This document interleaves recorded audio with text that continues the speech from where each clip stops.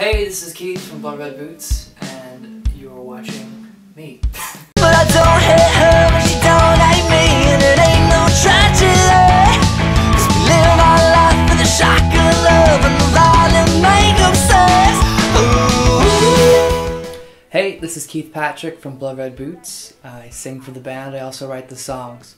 And, um, you know, we're here in this room because this is where I write a lot of the songs. Um, this is where I lay my head every evening. This is where a lot of the songs on this record um, came to be. I don't know what it is about evenings, um, but most of the songs I wrote came to me at like 3 in the morning.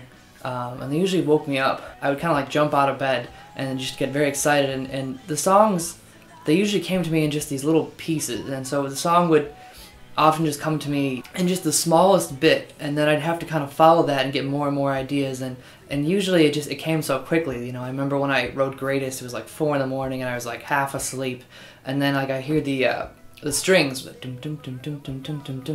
and uh, I just like was so excited I like jumped out of bed immediately and I was like I had that musical shivers and I, hopefully hopefully you know what I mean by that feeling.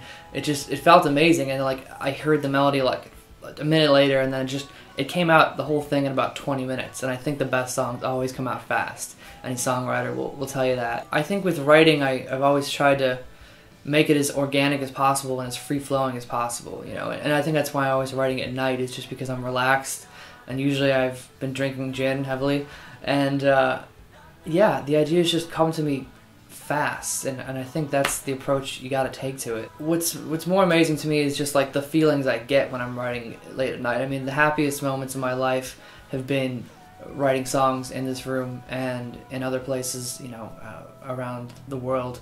But um, yeah.